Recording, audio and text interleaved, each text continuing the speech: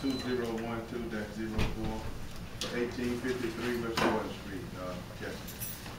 Thank you. Um, we received a certificate of appropriateness in the community commercial downtown zoning district.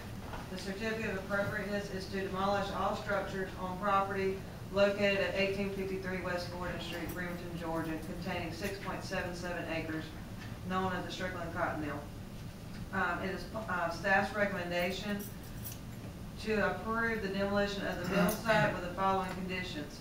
The Strickland Cotton Mill smokestack remains intact and should continue to remain intact for the purposes of memorializing the Strickland Cotton Mill and Remerton's heritage with the creation of a passive park. Does anyone have any questions?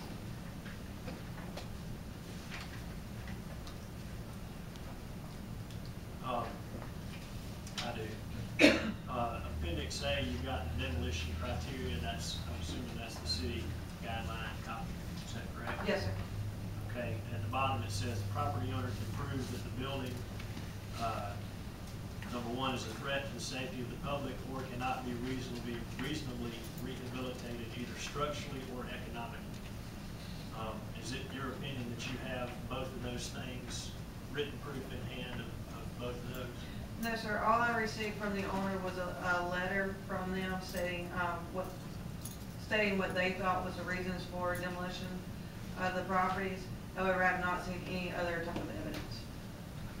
Um, Bill, I spoke to the owners group last week after reviewing what they, and they're gonna put together some additional documentation to provide to us before our meeting next week.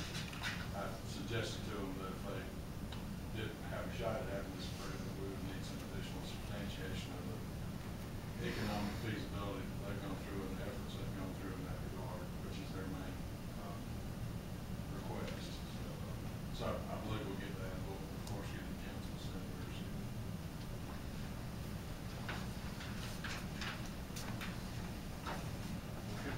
Move on to, uh, new business